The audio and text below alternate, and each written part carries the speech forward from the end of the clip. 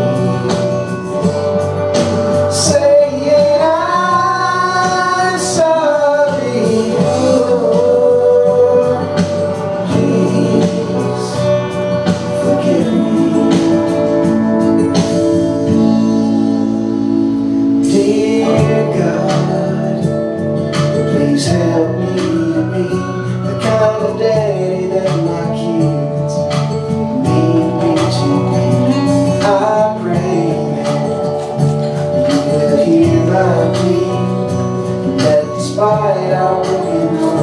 Let's see Jesus in me.